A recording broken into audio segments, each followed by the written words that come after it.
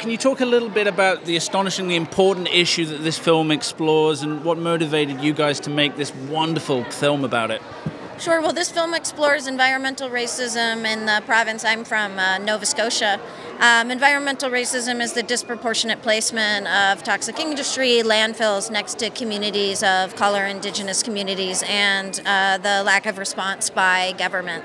This is a very systemic issue in Nova Scotia that I only just was learning more and more about, and as I did, it felt imperative for me as well as Ian that the uh, activists, these women um, that are in our film, that their stories needed to be amplified and told because they're um, they're exactly the voices we need to be listening to right now.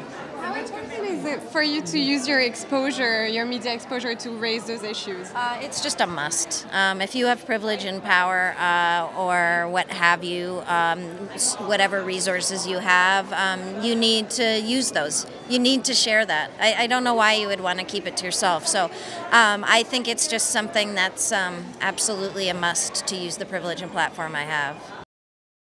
We can educate ourselves, you know, we can we can make sure we're aware of these issues and how this is affecting communities, how our own consumption is affecting these communities, and um, understanding um, the patterns and understanding the systems that lead to this.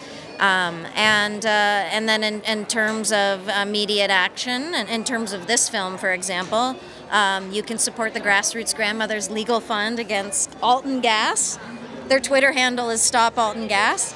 Um, and then I'd say one of the biggest things is uh, you need to put pressure on politicians and the government.